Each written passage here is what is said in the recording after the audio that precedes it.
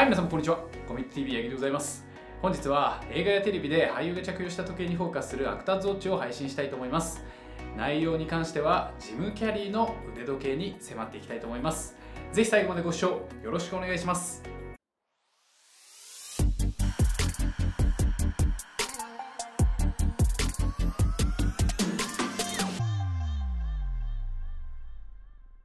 キレキレの顔芸を武器に20代の頃から多くのコメディ番組の常連となりキャメロン・ディアスと共演した映画「マスク」で大ブレイク。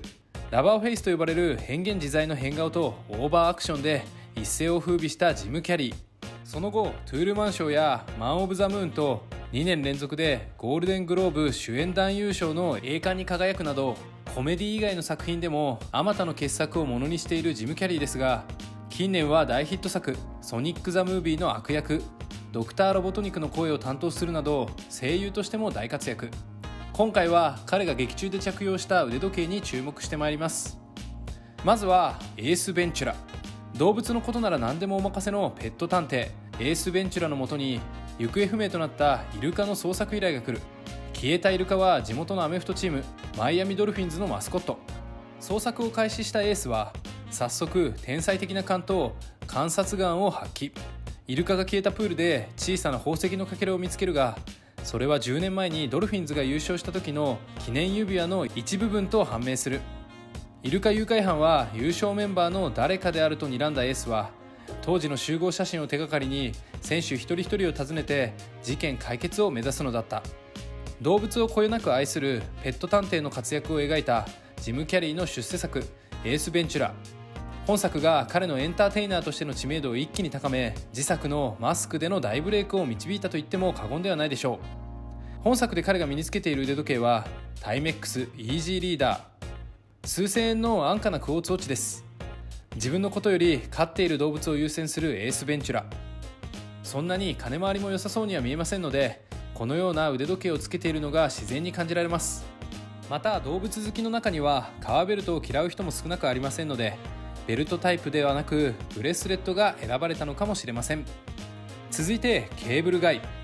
彼女と別れて引っ越すことになったエリートビジネスマンのスティーブン。新居にケーブルテレビを設置するため配線工事のケーブルガイを呼ぶとやってきたのはやたらと慣れ慣れしくも親切な工事人。教えてもらった恋愛アドバイスで彼女とよりを戻し大喜びのスティーブン。それをきっかけにケーブルガイとの友達付き合いが始まる。しかし毎日のように家にやってきては距離を詰めてくるケーブルガイに恐怖を感じ始めるとスティーブンは絶好を宣言。するとその翌日からケーブルガイによる嫌がらせの日々が始まった。初めは親切だったケーブルテレビの工事人が次第にストーカー化してエリートビジネスマンを恐怖に陥れるホラーコメディケーブルガイ得意の変顔やオーバーアクションをコメディ演技ではなく危ないサイコ野郎のキャラクター表現に生かしたセンスが光る一本です。本作でジム・キャリーが着用している腕時計はカシオ G-SHOCK リファレンス DW-002J いかにも工事人らしい堅牢性あふれる一本です。ストーカーが身につけているという先入観で見るとケースサイドの赤いボタンもなんとなく危険を知らせるシグナルのように思えてきます。続いてはフィリップ君を愛してる。妻子と幸せに暮らしていたスティーブンは自動車事故で重傷を負いながら一命を取り留めると自分らしく生きることを決意する。同性愛者であることをカミングアウトした彼は妻と離婚して同性愛者の恋人と暮らし始める。しかし浪費がたたって小さな詐欺事件を起こした彼は逮捕され刑務所暮らしとなってしまう。刑務所でイケメン受刑者のフィリップに一目惚れし恋人同士となった2人。やがて出所したスティーブンは弁護士を装ってフィリップを保釈させたり仕事先では会社の金を横領するなど詐欺師としての生活に染まっていく。複数の詐欺を働き4回もの脱獄を重ね現在は刑期167年という重罪犯として刑務所に収監されているスティーブン・ラッセル。同性愛者であり IQ169 の天才詐欺師でもある彼をジム・キャリーが演じた実録犯罪ドラマフィリップ君を愛してるでは彼の腕にタグホイヤーリンク。リファレンス WT1352.BD0559 が付けられています。特徴的なブレスデザインがエレガンスさを感じさせタグホイヤーの男らしいイメージも兼ね備わったリンク。そこにコンビ素材のラグジュアリーな雰囲気が加味されキャラクターにぴったりの雰囲気が醸し出されています。最後にご紹介するのは空飛ぶペンギン。トム・ホッパーは不動産会社に勤めるエリートビジネスマン。しかしビジネス優先で生きてきた彼は妻に愛想を尽かされて離婚。子供たちとの関係も険悪になってきた。